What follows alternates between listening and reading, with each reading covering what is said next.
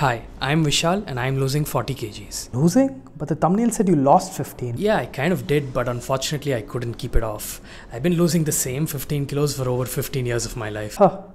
That's a weird hobby. Nah, I was just doing really crazy shit like following fat diets where I ate as low as 800 calories and crazy workouts where I was doing 20 to 25,000 steps a day. It was fine at the time, but I never really thought if I could stay fit if I got fit that way. Okay, Yapper, you got me on the clickbait, but I got better things to do. Wait, you clearly want to do something about your health. I've lost like 7 kgs in the last 42 days just by altering my lifestyle and adopting healthier habits. And I'm sharing daily progress updates, little bites of knowledge on how you too can get started, and I'm making sure to document all my failures so that you don't make the same mistakes. And apparently, that has helped some of my friends and really cool humans like you to get started on improving their health as well. So, why don't you consider giving me a follow? The only thing you'll probably lose is weight.